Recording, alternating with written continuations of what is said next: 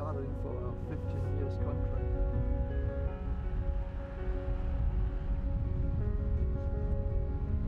I've always been fascinated by marine environment. I think it started when I was a kid. We were sailing with my family, and I think it's just bring a lot of energy to me to, to be close to the nature. I'm Ken Henriksen. I'm head of technical concept development, part of service organization. What we take care of is basically to ensure that we deliver a safe transfer solution for our technicians and also ensure that we can bring parts from shore to offshore in a safe manner. Data is everything, and without security, we don't have valid data. Right now, I'm building up a cybersecurity team.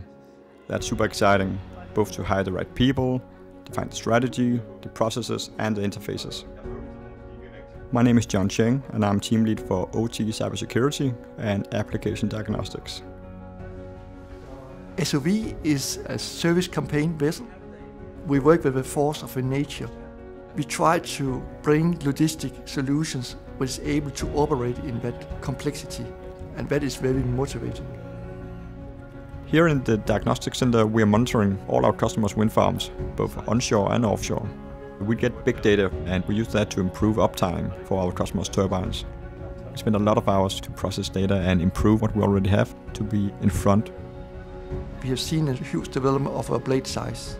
We can see the tools we get is getting more and more complex.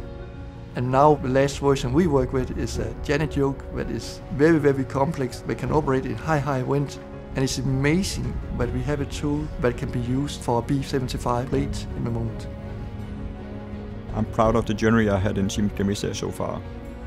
Started as a graduate engineer to where I am today, leading two teams.